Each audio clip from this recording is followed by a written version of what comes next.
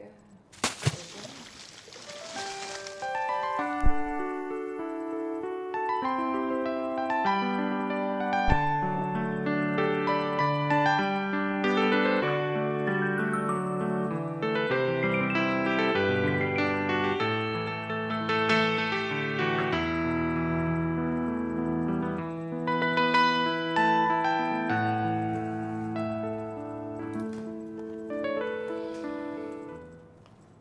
Buenos días, Gran Canaria. Seguimos con nuestro programa habitual, los desayunos de Canal 13. Espero que estén ahí.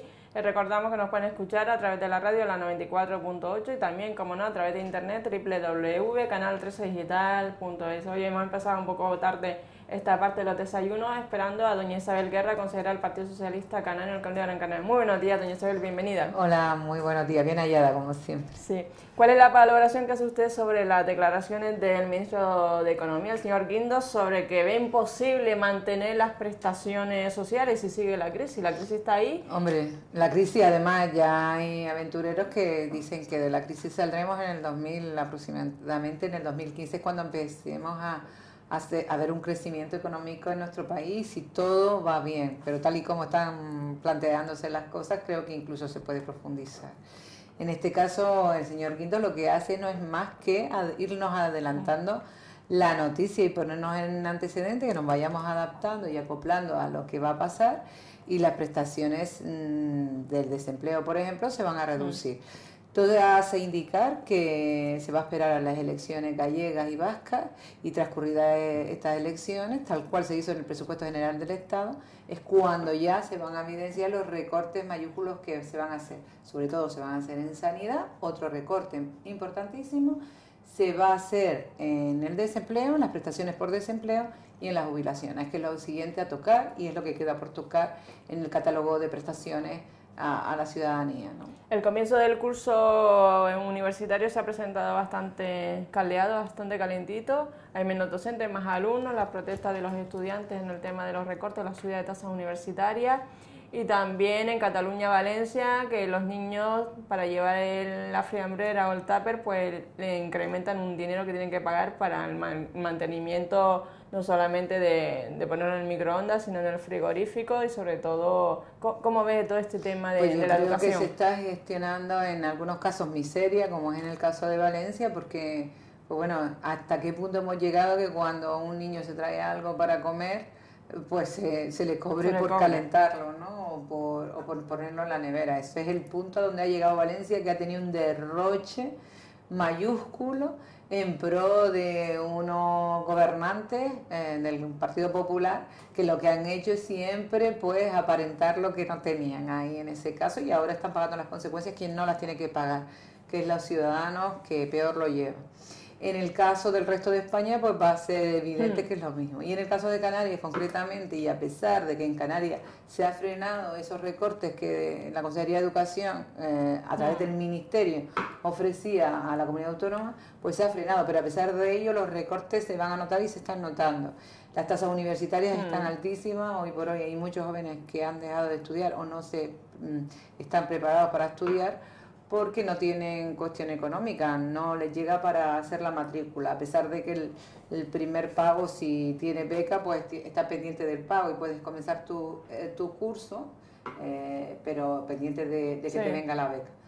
Que seguramente que, que, que no habrá becas para todos y por lo tanto se quedarán muchos expulsados. Pero en cualquier caso, sí que los jóvenes se han movilizado como nunca este país, creo que se están mm. movilizando en las universidades, parece que nos retrotraemos a épocas muy pasadas de cuando había que reivindicar el acceso a la universidad en igualdad de condiciones y creo que bueno ahí tenemos que el inicio del curso escolar, el inicio de la universidad pues ha sido mm. francamente lamentable porque pues ha habido golpes a los jóvenes estudiantes que querían manifestarse y acceder eh, libremente al curso, a la inauguración del curso académico y sin embargo no han podido. En cualquier caso creo que están en su derecho de reclamar, sobre todo porque muchos se van a quedar sin poder estudiar por cuestiones económicas y que el gobierno tiene que atender esas peticiones, ¿no? de que nadie se quede sin estudiar, sin acceder a la universidad que por el hecho de que no tenga cuestión económica.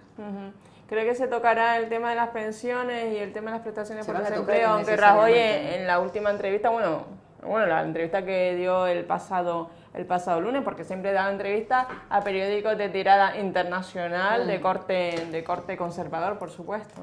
Sí, mm, yo creo que sí que se van a, tocar las pensiones, como te digo, las prestaciones por desempleo.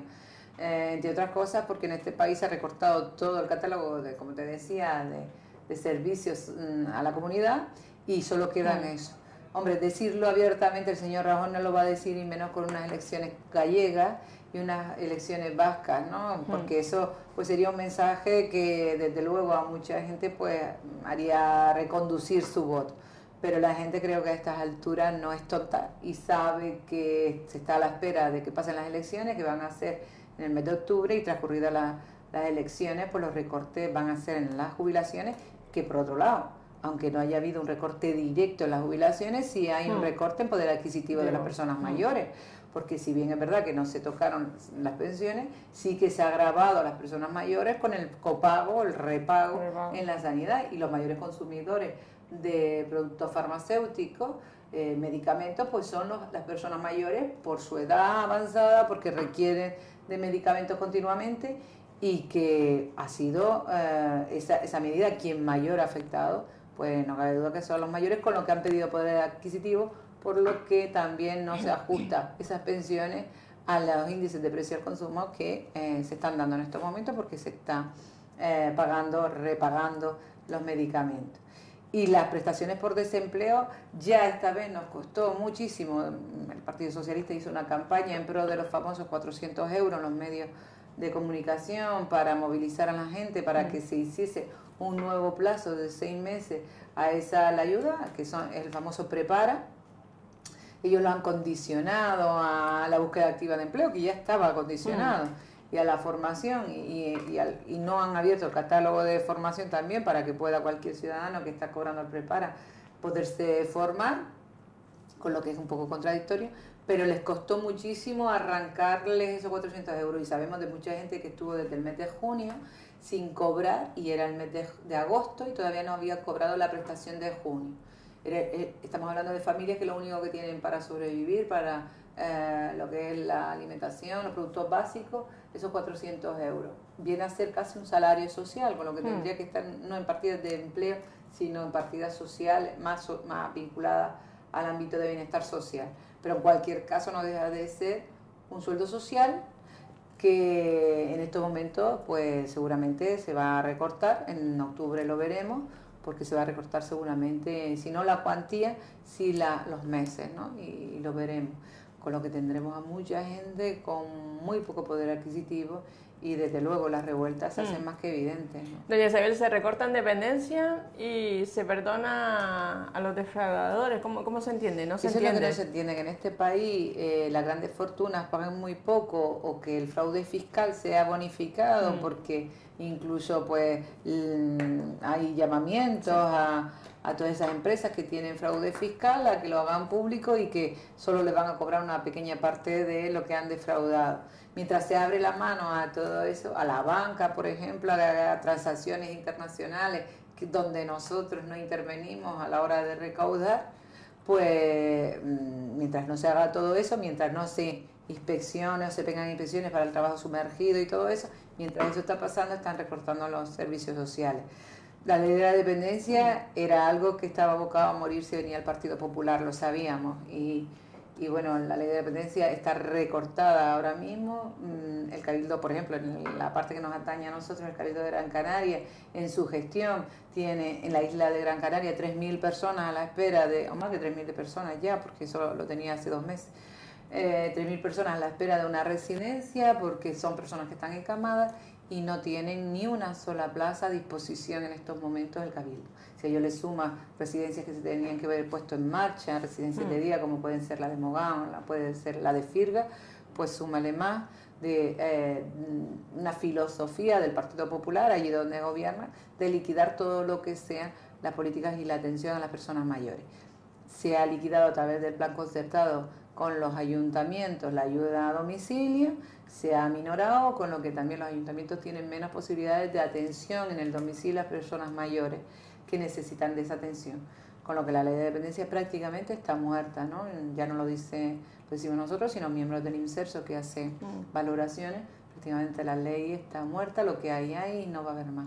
En cuanto a nivel nacional, eh, es sorprendente, bueno, no sorprendente el que el señor ministro Güer haya, haya enchufado a su esposa de, pues no sé, de tertuliana en los desayunos de, la televisión, de la televisión pública y sobre todo que, fácilmente se, se, enchufan todos estos personajes o, esposas de, ministros que están actualmente Mira, gobernando. La televisión española ha sido en los últimos tiempos, de ocho años para acá, pues una televisión que ha tenido premios internacionales a los informativos y a la cadena por su rigor a la hora de contar los acontecimientos que estaban pasando en este país y en otros países, ¿no? Premios internacionales, fruto también de un concepto que tenía de la televisión española también, Zapatero, de hacerla rigurosa, había padecido todo lo que era en el periodo de Aznar, la época convulsa del señor de, los telediarios, ¿no? Urdasi. Urdasi. Eh, pues, que fue el mayor censurador que ha tenido la época democrática en la televisión española y fruto de ello pues quiso tener una televisión plural, abierta, con, quitó la publicidad para no tener ningún apego a ningún sector empresarial que nutriera mm. y ser libres a la hora de contar las cosas, pues eso, eso que parece que, que iba muy bien era la joya de la corona en estos momentos, además no tenía ni déficit porque había eh, alcanzado unas cuotas de, de, visión, de visionado de la televisión importantísimas, era creíble y por los ciudadanos era creíble, pues en estos momentos la televisión española se vuelve otra vez como en la época mm. de Urdasi, ¿no? Y, ya se nota en los telediarios la mano del Partido Popular en cescar y contaminar la información que, que pasa a la ciudadanía, en muchas de las veces ablandando las noticias que están pasando, en el ámbito catalán, en el movimiento mm. independiente, apenas apareció por la televisión española, no se dio casi a conocer, eso fruto de la censura que se está produciendo en estos momentos, y ahora, pues no es de extrañar que tertulianos pues pongan incluso, y tengan la descara, la, de, la desfachatez, mm. por así decirlo, de meter a, la señora de uno de los ministros de tertuliana, ¿no? Date cuenta que incluso se cargaron a a, la noticiera que ya llevaba mucho tiempo trabajando en televisión española, una chica que tenía un renombre importante y que daba credibilidad, como no, a la televisión, pues fueron lo fue lo primero que cortaron y a partir de ahora nos vamos a encontrar una televisión que no nos podemos fiar de lo que nos diga, porque todo va a ser censurable por el gobierno, ¿no? aparte del Consejo de Administración de la Televisión Española, que también ahí pues se ha recortado de todo para intentar meter la mano al Partido Popular.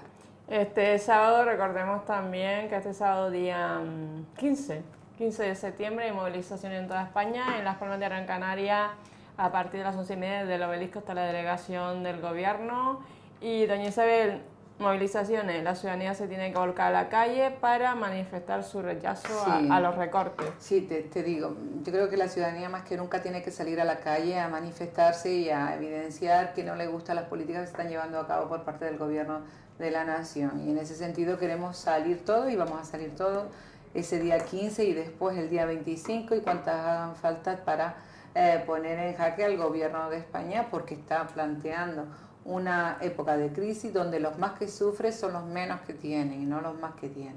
En este sentido, pues hay que salir a la calle. Me preguntaba a mi hijo ayer que es topógrafo y que está en el paro porque eh, no hay trabajo en el ámbito de la construcción y que como alternativa pues está haciendo un trabajo eh, repartiendo pan. Me preguntaba, mira, mamá, hay gente que me está diciendo que el día 10 es cuando me paga el pan porque mm, no tiene para pagarlo ahora y tiene que esperar el día 10 para cobrar la prestación por desempleo para pagar el pan pero dice que, que, van a bajar las prestaciones y qué hace toda esta gente que, que yo mm. la veo todos los días que me compran el pan, ¿no? Yo le digo, pues tienen que salir a la calle, tienen que salir a evidenciar todos los problemas que están viviendo y además tú tienes que salir a la calle porque tú ahora eres consciente del problema que vive la ciudadanía y los jóvenes no tienen futuro en este país, se están yendo porque este país no le está dando alternativas. Y los jóvenes tienen creatividad, tienen talento, estos son la, generación mejor preparada y tenemos que quedarnos ese talento porque si no estamos abocados a que en un futuro nuestros jóvenes no van a desarrollarse aquí y van a hacer sus vidas en otros países. ¿Y no, percibe usted, perdón, doña Isabel, que, que, está la sociedad como un poco adormecida? Da igual que me vaya a manifestar o no, porque realmente los grandes culpables de esta crisis no están en el banquillo. O sea, eh, todo este tema de la, de la banquia y todo este tema realmente no están no están sentados eh, siendo juzgados, ¿no? Siendo juzgados, eso es lo que ve la ciudadanía. Sí, el y señor realmente... Rodrigo Rato pasa de puntillas por el tema de lo que ha pasado en Bankia o, y otros señores también que se han llegado indemnizaciones millonarias ¿no? en otro tipo de bancos también a costa de, de los ahorros de, de, miles de ciudadanos. ¿no? Yo creo que, pero más que nunca hay que salir a la mm. calle, lo que no podemos es quedarnos delante del televisor viendo cómo nos viene la, el tsunami, ¿no? Tenemos que intentar, eh, en la medida que podamos, salir a la calle y evidenciar que no estamos de acuerdo con ello. Eh, de una manera pacífica, ¿no? como no puede ser menos, pero salir y evidenciar que el pueblo en general no está de acuerdo y que no es la fórmula, ¿no? Bajar las prestaciones, eh, recortar las pagas extraordinarias de Navidades o cortarlas en, eso, cortar funcionarios, eh, todo eso lo único que hace es evidenciar más que el consumo caiga en picado y que este país, pues el Producto Interior Bruto, a través de su consumo interno, caiga en picado y que eso ahonda todavía más en lo que es la crisis que estamos viviendo, ¿no? Y que evidentemente nos van a rescatar, ya todo el mundo lo da por hecho, pero cuáles son las, las condiciones para el rescate, ¿no? Si ya hemos pagado parte de las condiciones del rescate a la banca, la hemos pagado a los ciudadanos, este rescate que nos viene ahora a través del déficit público, la vamos a pagar otra vez los mm. ciudadanos. Pero nosotros coincidimos en que la banca tenía que pagar su déficit y en cualquier caso asumir que pues miles de ahorradores dejaron sus mm. depósitos ahí y muchos de ellos no pueden acceder a ellos, entre otras cosas porque le han colocado esos dineros en los, en los llamados preferentes donde ahora pues no, encima están bloqueados esos ahorros. En cuanto a política insular de lo que habló de Gran Canaria, de Doña Isabel le quería preguntar por el tema de, de las basuras, que parece ser que se ha incrementado la tasa a unos 40 euros, no se ha incrementado de forma gradual, pese a lo que está cayendo desde el punto de vista económico. Sí, el propio presidente del Cabildo decía que iba a triplicar la factura de la basura ¿no? a los ayuntamientos. Los ayuntamientos se han revelado en una mm. reunión que se ha hecho con los diferentes ayuntamientos de la isla, donde el, presidente del Cabildo les evidenciaba que las tasas iban a subir sí o sí, pues muchísimos municipios del Partido Popular también se han revelado y han dicho que no. De hecho, el borrador de las tasas de, de residuos eh, iba a ir al Consejo de Gobierno y se ha mm. dejado parado en tanto cuando no haya un consenso con los ayuntamientos. Desde luego, las subidas deberían de ser graduales y no de un tajo en, un momento como este, donde pues desde septiembre, a partir de septiembre nos han subido la luz, los libros escolares, eh, la gasolina está como está, todo ha incrementado, el IGIC no lo estaban metiendo con papas, todo se ha incrementado y esto es otro bofetón más a las personas que en estos momentos no llegan a final de mes en buenas condiciones, que son muchísimas y muchísimas. triplicar perdón, la tasa de basura va a implicar que una, una factura que te costaba 10 euros te pueda costar 30. Y eso en estos momentos es difícil para los ciudadanos, con lo que nosotros nos vamos a oponer radicalmente a esta subida no gradual de las tasas, porque entendemos que si bien es verdad que hay que acondicionar, se está acondicionando el Salto del Negro y Juan Grande, que son dos, dos plantas, y se tiene que poner al día. Si bien es verdad que hay que pagar, el que contamina paga, como mm. dice Europa, sí que es verdad que hay que dar plazos a las personas para que puedan afrontar poquito a poco ese, esos pagos y no mm, de manera radical. En este sentido, como te digo, nos vamos a oponer, estamos haciendo oposición y vamos a, a meter iniciativas en, en el Cabildo para que esto no sea así. En cuanto a, los programas de violencia de género, ¿cómo, ¿cómo, está el asunto? ¿La asignatura está pendiente, sigue pendiente, no está dentro de la mentalidad del Partido Popular? Guerreando con este tema desde que desde noviembre, diciembre del año pasado, cuando ya nos temíamos que el gobierno del Partido Popular iba a dejar a su suerte las políticas contra la violencia de género. Eh, eso evidenció que en marzo, que es cuando se firman siempre los convenios con los ayuntamientos, y las organizaciones no gubernamentales no, se dejan de firmar, no se firmó el convenio. De hecho, no se firmó el convenio con el Instituto de Igualdad hasta el mes de julio. Siempre lo habíamos hecho en el mes de marzo.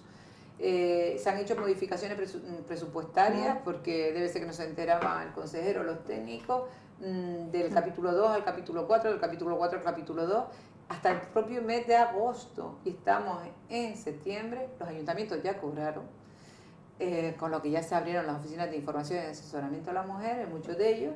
Sin embargo, las organizaciones no gubernamentales no han cobrado todavía la fecha de hoy. Han adelantado el dinero desde el mes de diciembre con lo que sufren un estrangulamiento mayúsculo. Esto nunca hubiese pasado, sobre todo porque hay dinero. En las cercas del Cabildo está el dinero colocado para pagar las ONG, solo falta que firmarlo, que hay una desidia, una falta de empatía con las organizaciones no gubernamentales que son las que están trabajando.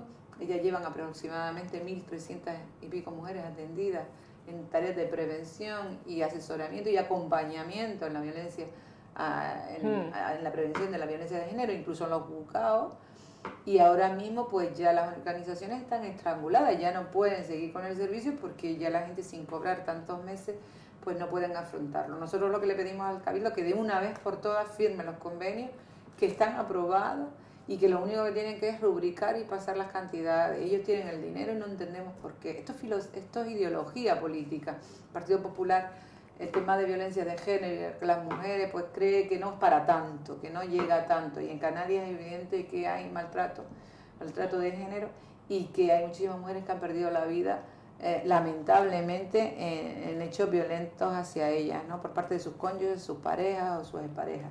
Y en este sentido pues creemos que es vital que se ponga en marcha. No es explicable que no se haya puesto en marcha, no es explicable que las organizaciones no tengan a estas alturas, estamos en septiembre, a estas mm. alturas no tengan el dinero del año, desde enero, no es explicable y creemos que es debido, primero, a la mala gestión del anterior consejero, el señor Paco Santana, que no ha sabido sacar el expediente con tiempo suficiente, le ha dado muchas vueltas, le ha dado revueltas, y doña Rosa Rodríguez, que en estos momentos pues también tiene paralizada toda la consejería hasta que ella no se ponga al día, con lo que lo tiene todo paralizado, a expensas de que esta señora pues asuma eh, las competencias que, las tiene y que vea cómo quiere modificar o, cómo quiere recortar el área del, de servicios sociales. Y en eso estamos. ¿Y en cuanto a la grada, en qué situación está ese Bueno, lo del deporte, el deporte en el Cabildo de Gran Canaria, que ayer por primera vez anunciaba que iba a ser deporte, eh, se había puesto de acuerdo con,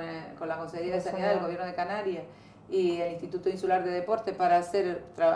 Mm, deporte para personas mayores, que nosotros ya desde, desde enero del año pasado dijimos que eh, a través de una moción que se pusieran ya la, el, deporte para personas mayores, entre otras cosas porque es preventiva mm, y que eso se podía poner en marcha y que la página del Instituto Insular de Deporte no tenía ninguna actividad deportiva para personas mayores, porque es un sector de la población a la que hay que atender también, y que es ayer cuando se pone en marcha. Bueno, el juguetito del señor Bravo, niño, el niño Bravo, es en estos momentos la grada del hmm. estadio de Gran Canaria. tiene un capricho con eso? Tiene un capricho con eso fruto de un acuerdo que se llevó a cabo con el señor Miguel Ángel Ramírez para eh, quitar la grada, la, hmm. perdón, la, acercar las gradas al campo de fútbol, que bueno, en principio no lo vemos mal, pero que tenemos una pista de atletismo importante que, que eh, podría ser para otro deporte, que es el atletismo del que en Canarias tampoco estamos muy sobrados y que hay que eh, promocionarlo más, desde luego. Pero en cualquier caso, dos millones, un millón y medio, dos millones que se pretende gastar el señor en acercar las gradas al campo de fútbol, pues creemos que en estos momentos es un gasto que no es prioritario, que antes de ese gasto hay muchísimos más gastos que son prioritarios y que afectan directamente a los ciudadanos. El Cabildo de Gran Canaria subió los precios en deporte, a las actividades deportivas de los niños a través del Instituto Insular de Deporte. Se ha incrementado un 30% la, el, coste que contaban esas actividades. Hombre, que tú le subas a las personas por hacer las actividades y que a la vez te gastes dos millones en algo que no es prioritario, pues parece que es contraproducente en el mejor de hmm. los casos. Yo creo que está pagando un favor al señor, como digo, Miguel Ángel Ramírez, que nos vemos lógico que mire él por, por el interés de acercar al, al aficionado de la Unión Deportiva al campo de fútbol, pero desde luego prioritario no es en este momento. Yo creo que los aficionados de la Unión Deportiva comprenderán que eso se puede dejar para más adelante y no para ahora. Mm, en cualquier caso, como te digo, es el juguetito, el caprichito que tiene el niño bravo en estos momentos, su padre quiere darle ese capricho y los ciudadanos asistimos pues poco viéndola venir de, este señor. ¿Y el sector del taxi, doña Isabel, en qué situación? Bueno, al cambio del reglamento, de la normativa de, transporte, el, el, aeropuerto, si se convierte en un objetivo sensible, pues da pie a que eh, hayan taxistas de Ingenio, taxistas de, de Telde y taxistas de Las Palmas. En estos momentos hay una guerra entre eh, diferentes taxistas en diferentes mm. zonas a ver si son Ingenio y Telde las que se quedan únicamente con el aeropuerto o si incluyen también a Las Palmas como quiere incluirse Las Palmas, que está. Por otro lado, no se trata de que se pongan en cola de los taxis Las Palmas, sino que un usuario que reclame un servicio en la zona de Las Palmas, pues pueda tener, pueda tener acceso un taxi a esa zona. ¿no? En estos momentos, con el reglamento en la mano, no va a poder hacerlo porque no está declarada el aeropuerto, como también podría ser el aeropuerto o el puerto, mm. incluso el propio estadio insular también, como un sitio donde pues hay grandes movimientos de masas de personas, donde pueda haber eh, más, más servicios de taxi, no solo de Las mm. Palmas, de cualquier isla que puedan atender a ese, a ese momento. En este momento el cabildo, el cabildo lo que está es enquistando un problema, el CCN hoy se sale por la tangente, él mm. que no tiene ni titularidad, Juan Domínguez se nombra eh, coge la batuta de ser presidente del CCN y dice que va a llegar un consenso, no sé qué, cuando él es miembro del gobierno del cabildo, y se separa un poco en esa separata que uno no entiende muy bien.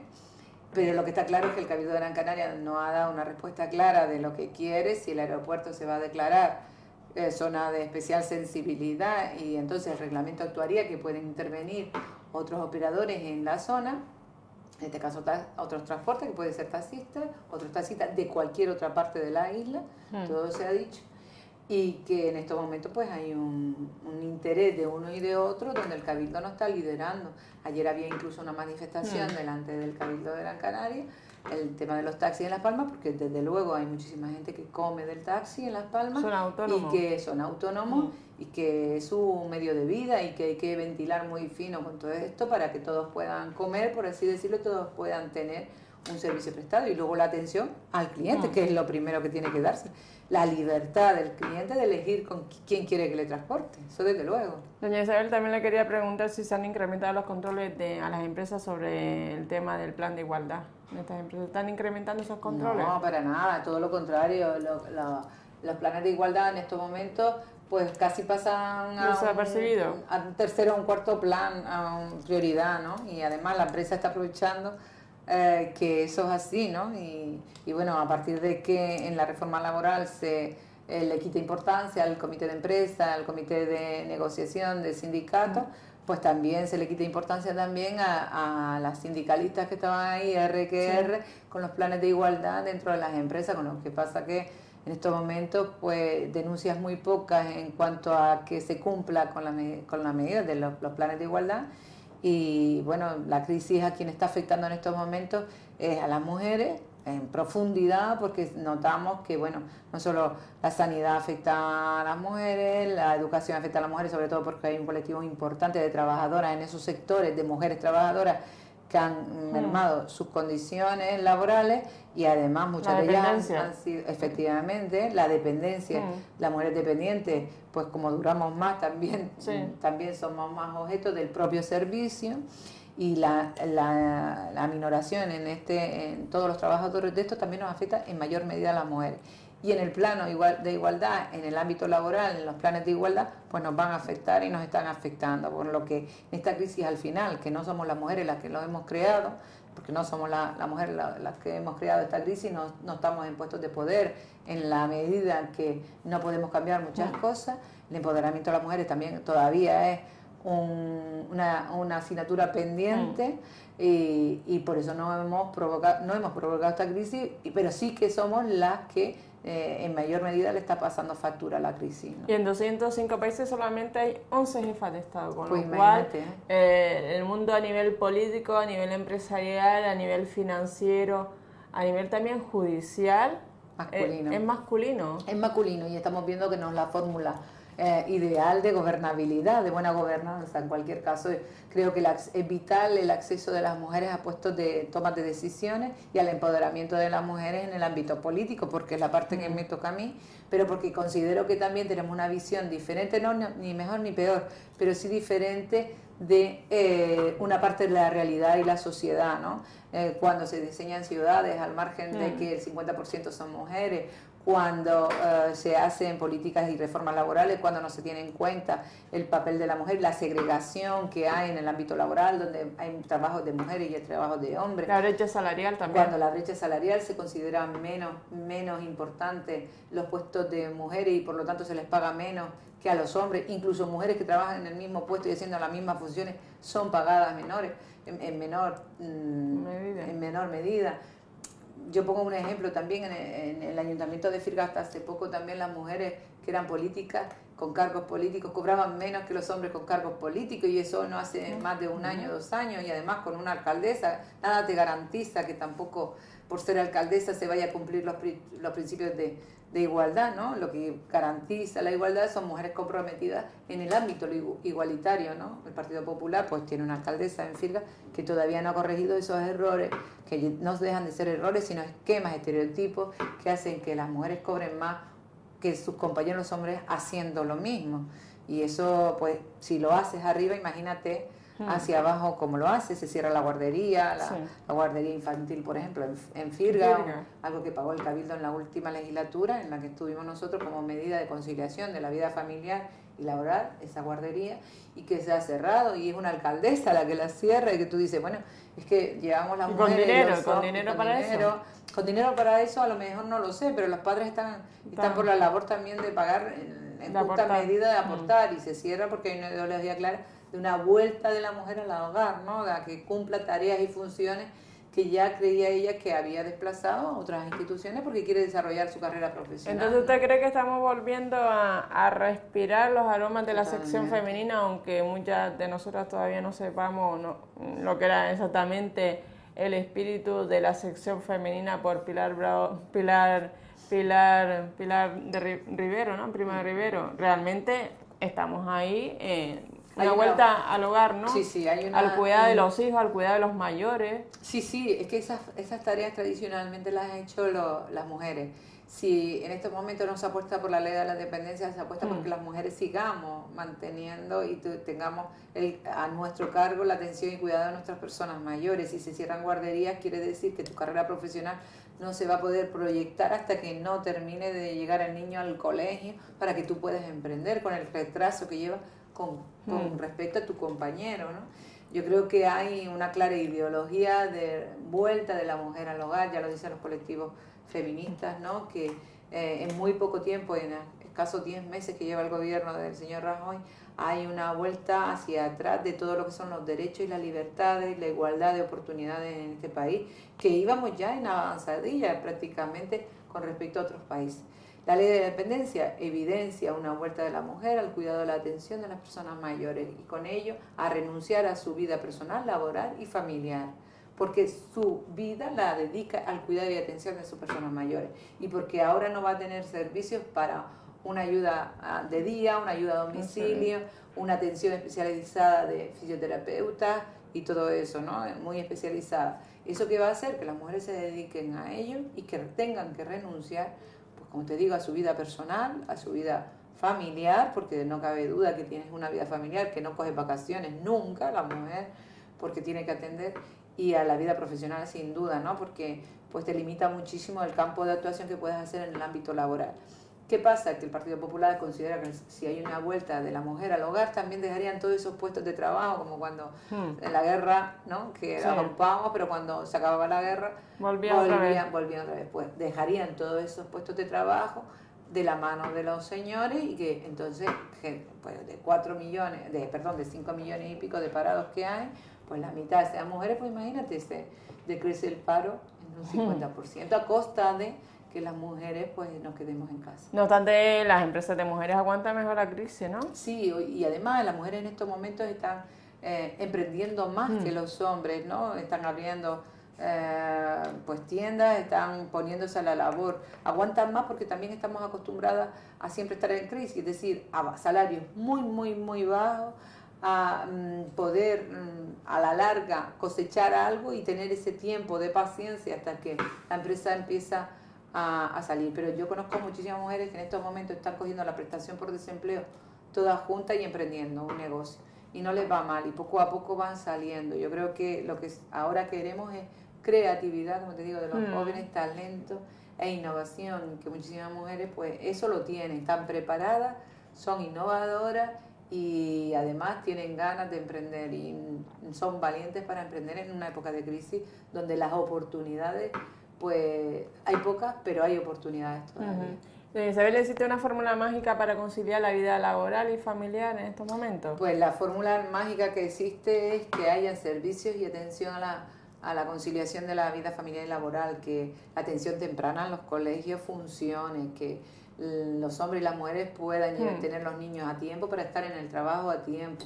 La guardería, llamada guarderías, escuelas infantiles, pues hmm. funcionen, que haya una amplia red de escuelas infantiles a un, a un precio asequible para que puedan dejar los niños o por tramo, porque desde luego la que cobra más tendrá que pagar más que la que cobra menos, ¿no? Desde luego.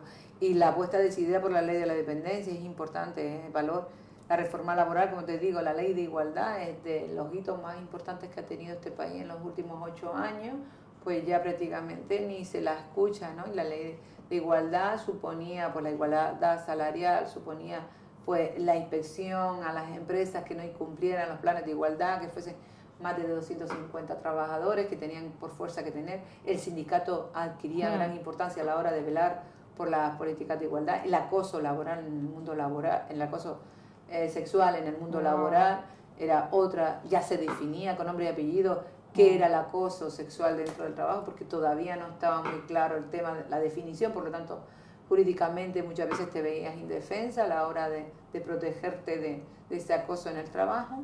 Y bueno, creo que en este momento el país ha retrocedido y que, bueno, la ciudadanía, como te digo, tiene una herramienta muy importante en sus manos, que es su boca, su palabra, salir a la calle a reivindicar y, no creemos en la fuerza que tenemos hasta que no lo evidenciamos. Ayer Cataluña salió y hoy todos los periódicos hablaban de, lo mismo, ¿no? Y hmm. van a estar hablando durante tiempo y algo se tendrá que cambiar si no queremos eh, que ese sentimiento tan particular que tienen los catalanes en este momento de abandono, de, de querer ser independiente porque eh, no encuentra un Estado que arrope y singularice lo que le está pasando a ese pueblo pues hace que haya radicalismo y eso hay que verlo y tomar medidas y se tomarán seguramente. ¿Piensa usted que Alfredo Pérez Rubalcaba ahora va a cambiar de, actitud? Hemos cambiado, hemos cambiado la estrategia en el sentido de que nosotros los primeros meses lo que queríamos era arropar al partido ganador, hmm. más que nada porque este país hay que salvarlo. Nosotros tenemos vocación de gobierno y responsabilidad de gobierno. Tendiéndole la mano, aun y cuando el señor Rajoy no, no, quería, no, quería cogerla. Más te la quitaba, ¿no? Pero pensábamos que era nuestra obligación ser responsables con lo hmm. que teníamos. Al fin y al cabo, la crisis nos afectó también como partido político en el gobierno y estaba afectando, pero a quien más estaba afectando a los ciudadanos. Y queríamos darle ese plazo prudencial que se le da a un gobierno para que pueda tomar decisiones y actuar. Creo que las decisiones que se han tomado no han sido las acertadas, al contrario, han hundido muchísimo más a este país se ha incrementado el número de desempleo, el Producto Interior Bruto ha bajado, en estos momentos estamos intervenidos, el rescate de la banca, de sin una mm, posición clara del Partido Popular. Eh, en estos momentos estamos al borde del precipicio con un rescate, vamos a ver cómo van a ser el pago de ese rescate y el Partido Socialista visto que el gobierno pues ha tomado decisiones que no han sido las acertadas, se va a poner en, estos momentos más contundente, más eficaz desde Europa también, desde los socialistas mm. europeos, para evidenciar que los partidos conservadores están hundiendo a Europa en general, pero los países del sur, los mal llamados PIG, que mm. algunos les llaman, pues están sufriéndolo enormemente. Grecia era un objetivo de, la, de los conservadores los mercados, España era otro objetivo, Francia ha sido otro, esto, perdón, eh, Italia, sido otro objetivo y Portugal, son los cuatro. y creo que no merecemos los países del sur lo que se nos está haciendo desde Europa, desde Alemania concretamente, que es la que a base de, eh, de aplastar a, nuestro sector económico, ellos han subido, hmm. a base de, de, aplastarnos a nosotros, ellos han subido, recaudando más ellos, y creo que en estos momentos pues hay que ser contundente y el Partido Socialista en Europa tiene que ser mucho más contundente y el Partido Socialista en España va a ser contundente como tiene que serlo. A nivel del Cabildo de Gran Canaria, doña Isabel, ¿cuál es la, la situación, cuál, cuál, es la actitud del partido del CCN en el gobierno? ¿Cómo, Mira, el CCN se desenvuelve? Está, eh, Juan Domínguez se presentó con Coalición Canaria CCN, se fue de Coalición Canaria el grupo con el que se presentó al gobierno de al gobierno del Partido Popular. Eso se llama transfugismo. En, en, en ética se llama transfugismo. No es ilegal, Claro que no es ilegal, pero es transfugismo. Y eso la ciudadanía tiene que saberlo, entre otras cosas, porque pone en jaque a toda la clase mm. política y todos no somos iguales y hay gente que se vende y se compra conforme le dan gobierno o un pedacito de, pastel. Y el otro caso es el de el, señor Antonio Hernández Lobo, que se ha presentado con Coalición Canaria y también se ha ido al grupo del Partido Popular. Eso quiere decir también que el Grupo Partido Popular no nos tenía, todo el patio lo tenía revuelto y necesitaba de gente de fuera, porque si casi tenía la hmm. mayoría absoluta, pues no entendemos que con Juan Domínguez tenga suficiente y tenga que arroparse con otro tránfugo. Coalición Canaria todavía no ha expulsado al señor Antonio Hernández Lobo por la acción de irse de coalición al gobierno. La coalición está en la oposición en estos momentos y el señor Bañola, a mi juicio, no ha tenido no sé si los trámites internos de Coalición Canaria requieren pues un periodo de, audiencia y todas esas cosas, pero está clarísimo un señor que está eh, liderando Coalición Canaria en el Cabildo, esté en la oposición, es que causa risa, ¿no? Esté en el Cabildo en la oposición y que su compañero esté en el gobierno y que Coalición no diga nada al respecto, ni lo expulse, porque la expulsión debería de ser inmediata. Y además, bueno, si usted opina que hay una injusticia, pues vaya usted a lo, con los estatutos y justifíquese. Pero desde luego usted se ha ido de Coalición Canaria, se ha ido a gobernar mm. con nosotros, con lo que eso se llama tránsfuga. Y hay dos tránsfugas dentro del gobierno del Cabildo, uno del CCN y otro de Coalición Canaria, hasta que lo, lo despachen, porque no lo han despachado cualquier caso, creo que dice mucho del gobierno que en estos momentos tenemos en el Cabildo, un gobierno que es débil, que tiene que alimentarse de dos tránsfugas para poder aplacar su gallinero, porque tiene el gallinero revuelto. Doña Rosa Rodríguez en estos momentos, bueno, le han quitado todas las competencias al señor Paco Santana, desde luego lo hacía fatal, con lo que vale que nos ha hecho un favor, pero claro, lo que no ha venido no sé si es peor, porque hasta lo veremos, ¿no? Porque viene manos tijeras eh, que Rosa Rodríguez, porque esta señora le gusta mucho las tijeras y cortar, no como las peluqueras tanto, pero sí, sí en la parte económica. De hecho, ya está diseñando un staff económico dentro de lo que son los servicios sociales, eh, llevándose a funcionarios de su confianza para ponerlos en los servicios sociales y además con una visión muy mecánica de los servicios sociales cuando pues aquí tenemos personal que trabaja con menores y que tiene turnos y tiene que tener turnos más flexibles porque es por la mañana, por la tarde, por la noche, si hay que llevar a un niño médico, si hay que atenderle. Entonces hay una flexibilidad y ella viene con las matemáticas, ¿no? Y, las matemáticas no son siempre... Una ciencia exacta, ¿no? Exactas, ¿no? Entonces mm, veremos cómo pasa.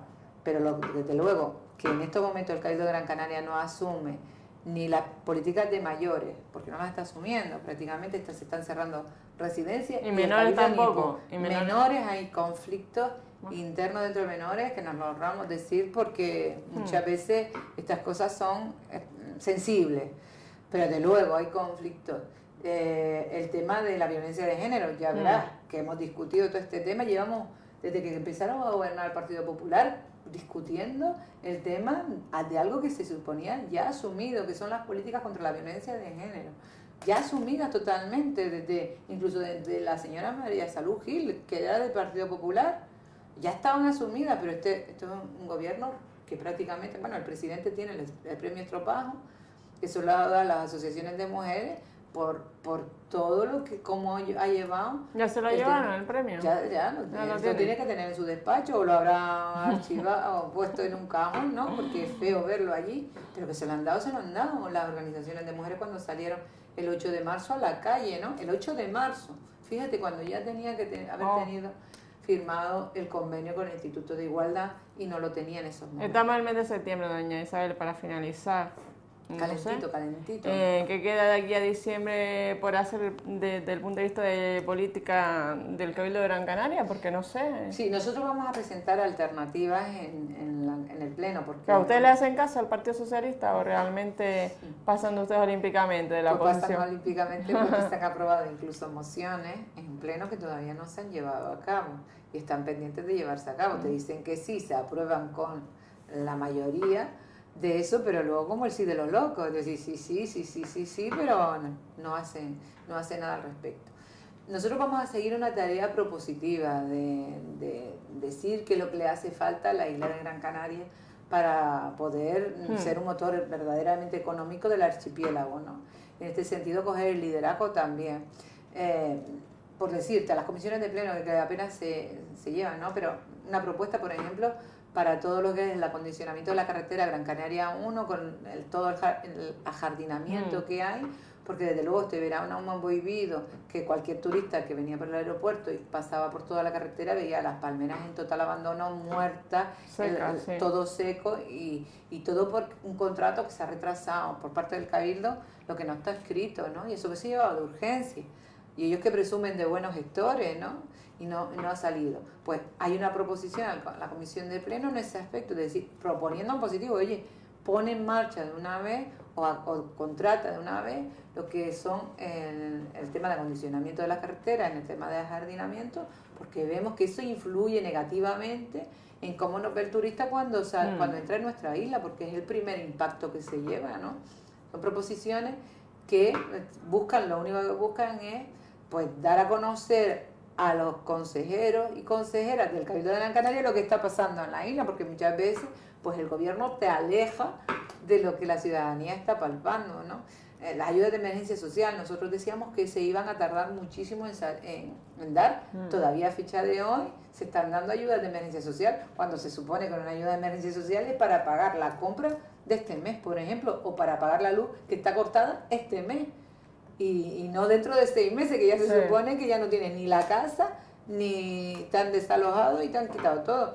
Nosotros solo decíamos a doña Rosa Rodríguez, esto de hacer las ayudas de emergencia social, no desde los servicios sociales, sino de presidencia, a través de la consejera de Hacienda, Rosa Rodríguez, pues lo único que va a hacer es ralentizar todavía más la prestación de, esa- de esas ayudas. Se han tardado. Hemos pedido el presupuesto de, de la Consejería de Empleo porque nos tememos lo peor, que a fecha de septiembre en la ejecución del presupuesto no esté ni el 50%, ¿no? Estamos en septiembre y que no se lo haya gastado. Y eso lo hemos pedido. ¿Dónde está la ejecución del presupuesto a fecha 31 de agosto para saber en qué se ha gastado el dinero, cuánto dinero le queda? Pero es que tiene la partida número de, del capítulo 1 para contratar personas a través del paro y no la, no la ha habilitado. Y, y- y tiene un millón y medio ahí sin gastar está. Sin gastar porque el señor, pues no lo sé, no es diligente a la hora de sacar mm, ese- eso- esos contratos que se tienen que hacer.